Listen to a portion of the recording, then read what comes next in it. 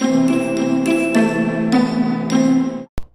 dear friends. You can transfer your money from pnb to other bank just uh, click the transfer and in the transfer click neft transfer amount up to 2 lakhs to other banks account through neft just click it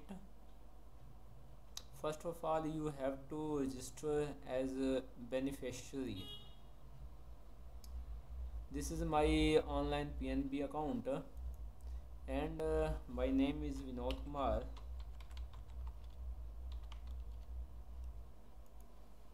And uh, suppose uh, i have to transfer my money to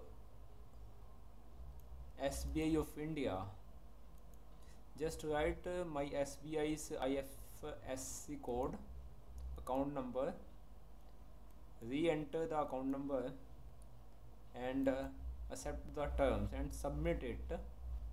Then uh, I have to confirm this. After this uh, I will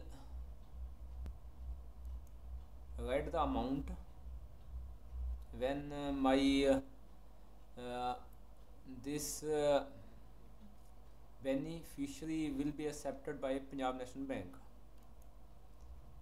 And uh, after this when I click on submit uh, my return payment suppose I want to transfer 1 lakh